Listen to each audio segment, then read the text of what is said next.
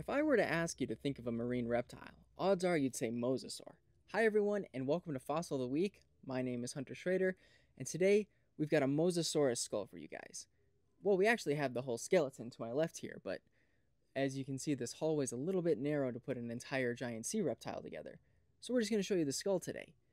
Mosasaurs lived at the end of the Cretaceous period, and their closest living relative today is monitor lizards, and think like Komodo dragon, which is pretty fitting considering these guys used to be called sea dragons. I don't know the exact species of this Mosasaurus, but I can make a few guesses.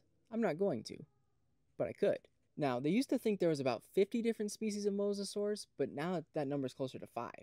If my cameraman, I'm talking to you, Peyton, would be so kind as to zoom in just a little bit more on these scary teeth. Here's a close-up of the mosasaur's jaws. Now, the teeth here are very scary, for one, and that's a scientific term, but they're also very diagnostic, and you can use them to figure out which species the mosasaur is, sometimes.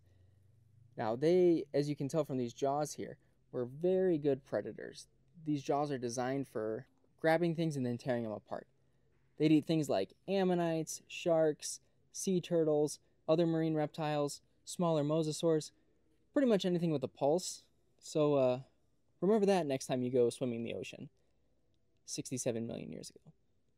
All right, one of our lights just died, which means we're going to end this Fossil of the Week episode right here because I really don't want to be stuck in the dark with this guy. Make sure you guys do like and subscribe. And um, just so you know, your chances of being killed by a mosasaur in these modern times are low, but they're never zero.